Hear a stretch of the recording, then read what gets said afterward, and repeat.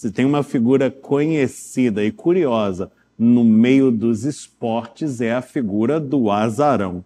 O azarão é o menos provável vencedor. A gente olha para ele e não vai fazer a nossa aposta na sua figura, porque sabe que as suas chances são muito reduzidas.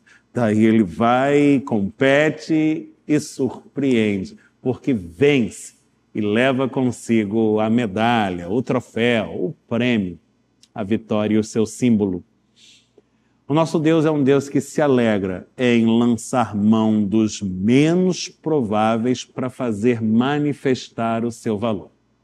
E o salmista, no Salmo 8, versículo 2, reflete esta realidade, dizendo: Da boca das crianças, dos que mamam, suscitaste força, por causa dos teus adversários para fazer escalar o inimigo e o vingador. Como esta palavra se traduz de forma maravilhosa na realidade de Cristo Jesus e do seu advento. Afinal, os poderes maiores que assolavam a realidade humana foram enfrentados por ele.